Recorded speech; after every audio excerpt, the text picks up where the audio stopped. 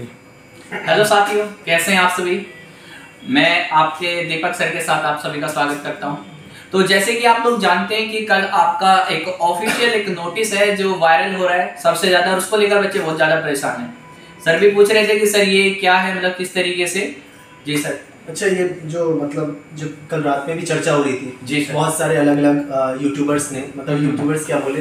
YouTube में जो भी अ, हम्म। मतलब एजुकेशन दे रहे हैं जी तो उन्होंने वीडियो बनाया था हम लोगों ने भी आ, मतलब वीडियो बना के बताया था हम्म। स्टूडेंट को कि ये सबसे पहली बात है कि जो ये जो नोटिफिकेशन है जो हम्म। सर्कुलर जारी हुए हैं जी ये बीस हज़ार की जो बात चल रही है इसमें कितनी हद तक सच्चाई है ये क्या है आखिरकार देखिए, सबसे पहले तो सर, बात ये है कि जब आपकी एग्ज़ाम डेट आई थी, आपको याद होगा कि 12 तारीख से एग्ज़ाम डेट ऑफिशियल बाद में आई थी। हमें पहले ही पता चल गया था कि ऑफिशियल ये डेट अनाउंस होने वाली है 12 तारीख को। उसी तरीके से जो ये नोटिस है, ये ऑफिशियल नहीं है अभी वेबसाइट पे तो नहीं आया, लेकिन ये जो है ना, जैसे अपने स्टाफ में जो चीज़ें बतानी होती है, उस तरीके से ये लीक हुआ है। और कहीं ना कहीं मतलब सबके बीच में है है तो ये ऑफिशियली हम ये कहेंगे ऑफिशियल आने में अभी थोड़ा एक दो दिन लग सकता है।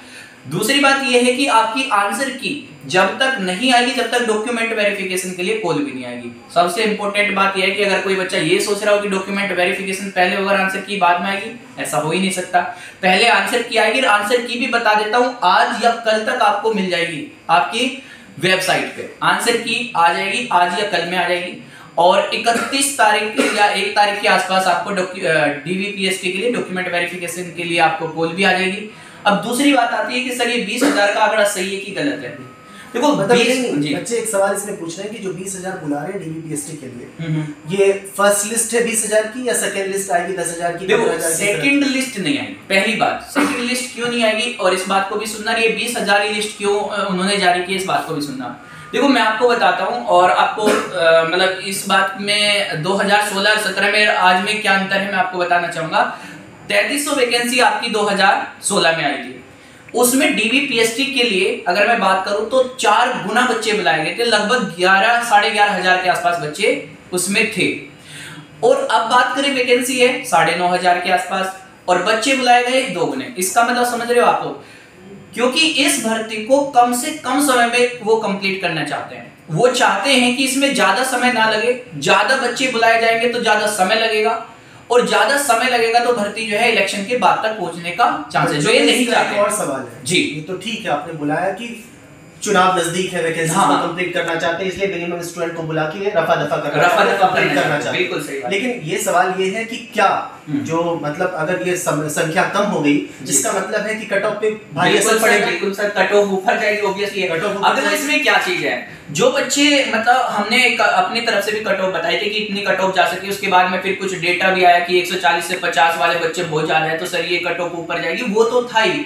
अब साथ में क्या है कि जैसे बच्चे कम बुलाए जा रहे हैं और वो बच्चे जो अ, मतलब एक्सपेक्ट कर रहे थे कि हम हम भी सोच रहे थे कि जो है ना चार गुना बच्चे बुलाए जाएँगे तो तीस चालीस हज़ार के आसपास बच्चे बुलाने चाहिए। अब बीस हज़ार बुलाए जा रहे हैं इसका मतलब सीधा सा है कि भर्ती बोर्ड ने अपनी मेरिट पहले से ही सेट कर ली है कि हमें इतने कटोप रखनी चाहिए और इससे ऊपर के जो बच्चे हैं एकदम वही वाले बच्चे बुलाने चाहिए। अब जो बच्चे कम नंबर लाए थे, जैसे 110 वाले ओबीसी वाले लाए थे 105 ओबीसी वाले हो गए 108 वाले होंगे, मैं उसी के हिसाब से बता रहा हूँ। जनरल जो 110 115 लेके आए थे, वो सोच रहे थे कि हमारा नंबर जो है वो आ जाएगा तो हमें भी रनिंग करनी चाहिए। हमने बोला कि रनिंग करनी चाहिए, क्योंकि चार गुने बच्चे बुलाए जाएँगे तो आपका भी नंबर उनमें होगा।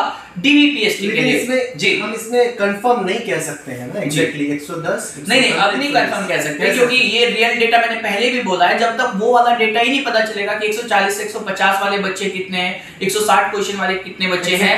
अगर वो डेटा हमारे पास नहीं है, अगर वो सेकंड आंसर की के साथ मार्क्स भी रिवील करते हैं, तब जाके आसानी होगी, चीज़ों को समझने में भी आसानी होगी।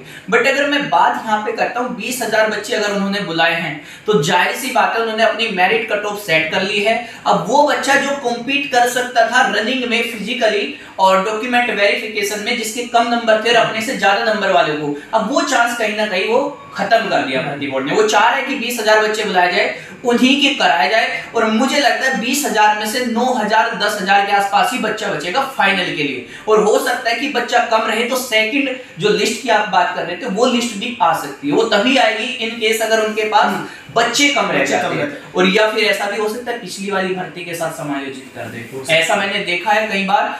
खैर वो बात अलग है। नहीं होगी वो सही होना चाहिए क्योंकि जो बच्चे अभी मेहनत किए हैं उनका नंबर पहले आना चाहिए।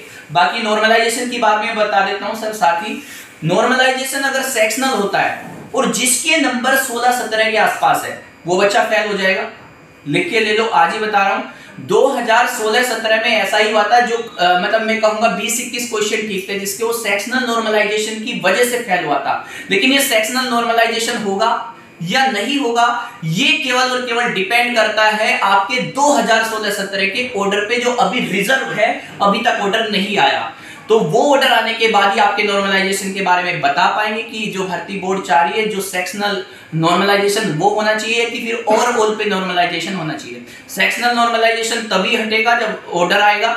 तो नॉर्मलाइजेशन के बारे में तो अभी कुछ भी क्लियर नहीं कर सकते क्योंकि वो भर्ती बोर्ड जो है ऑर्डर के ऊपर डिपेंड करेगा। चाहिए क्या? कहना ये चाहिए कि मतलब कुल मिलाकर साथियों कि बहुत सारी चीज़ें अभी भविष्य के गर्भ में है। मतलब हम ये सिर्फ़ कयास लगा सकते हैं। जी जैसा कि सर ने बोला कि कट ऑफ़ के बारे में क्या आप अक्सर पूछते हैं ना कि 110 हम्म। वाले 115 115 क्वेश्चन जो 120 सही किए इसमें कुछ अभी नहीं बोला जा सकता। लेकिन इतना ज़रूर जैसा कि सर ने बताया कि इतना ज़रूर है कि कट ऑफ़ पहले की अपेक्षा कट ऑफ़ में बढ़ोतरी होगी। जी सर। ठीक है अब ये पता नहीं पक्की बात पता नहीं क्योंकि पता नहीं 130 से ऊपर कितने हैं। ये भी पता नहीं 120 से ऊपर कितने हैं लेकिन इतना ज़रूर है कि कट ऑफ़ ज़्यादा जाएगा। हम्म। इसलिए और भी बातें नहीं कही जा सकती हैं कि मान लिया जाए जैसे कि आ, क्या कहते हैं उसको नॉर्मलाइजेशन हाँ नॉर्मलाइजेशन के बारे में सर ने बताया कि उसके बारे में कंफर्म नहीं कि सेक्शनल होगा ओवरऑल हम्म। क्या कैसे क्या किया जा सकता है बाकी ये तो, सर जिसके 110 के आसपास क्वेश्चन ठीक थे अगर नॉर्मलाइजेशन होता है तो उनका ये भी हो सकता है कि 110 वाला 120 के आसपास चले जाए है ना?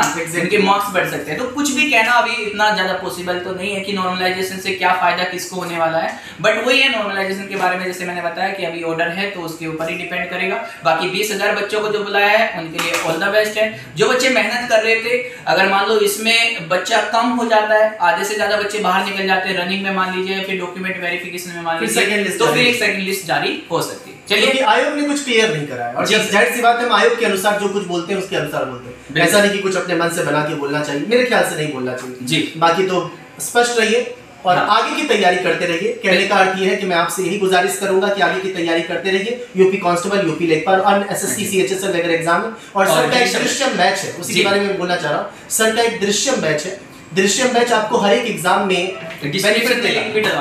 हाँ बिल्कुल हर एक एग्ज़ाम में बेनिफिट देगा आपको बता देता हूँ एग्ज़ाम अगर गिनवाना शुरू कर दूँ सबसे पहले मैं एसएससी का सबसे बड़ा एग्ज़ाम सीजीएल का नाम लूँ फिर सी एच एस एल बहुत बड़ा एग्ज़ाम है। सीजीएल तो बहुत बड़ा इसलिए है क्योंकि मुख्य परीक्षा में मैथ्स का बहुत व्यापक रोल है। साथ ही साथ सीपीओ का बहुत बड़ा रोल है। सीपीओ हो गया सीजीएल हो गया C H S L MTS और स्टेनो स्टेनो जो आप जानते हैं एमटीएस स्टेनो में बहुत ज़्यादा स्टूडेंट है जो तैयारी करते हैं, खासतौर पर C H S L plus two level की परीक्षा है। वो एस एस सी तो ही है बाकी उत्तर प्रदेश के लेखपाल की परीक्षा हो यूपी कांस्टेबल की परीक्षा हो, अन्य राज्यों से संबंधित कोई भी परीक्षा हो जिसमें गणित का बहुत बड़ा रोल हो तो गणित का एक दृश्यम बैच है। तो दृश्यम बैच आप जानते हैं यूपीएसआई में जैसा कि सबको पता है तीन जनवरी से क्लास शुरू होनी है तो दृश्यम बैच में आपको मेरे ख्याल से ज्वाइन करना चाहिए।